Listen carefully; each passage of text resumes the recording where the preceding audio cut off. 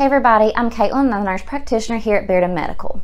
Whether you're dealing with migraines or chronic headaches and tension, this kind of life is no fun. Brain function is still in many ways a mystery to medical science, and although treating headaches in the short term with medication is common, long term strategies to deal with them might require other approaches. Many of these approaches are available here at Bearden Medical.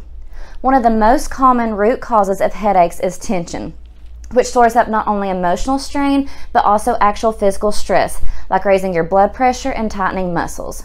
Rehab services, acupuncture, and chiropractic care can help bring down your stress level while improving overall health, which can also reduce the likelihood of your stress getting out of control in the first place. By making your body feel better, you can greatly decrease stress. Our team will focus on the spine, including the upper neck that connects with the brainstem. A more relaxed and better functioning neck, given its direct contact with the brain, can be a positive for brain function and also reduce the likelihood of headaches. Another source of physical tension that can affect your overall stress level is knots in your muscles. One approach to this is trigger point injections. These localized injections can relieve pain and thereby lessen your overall tension level. Nerve irritation and inflammation can also be causing chronic headaches. Here at Bearden Medical, we do two different types of nerve block injections.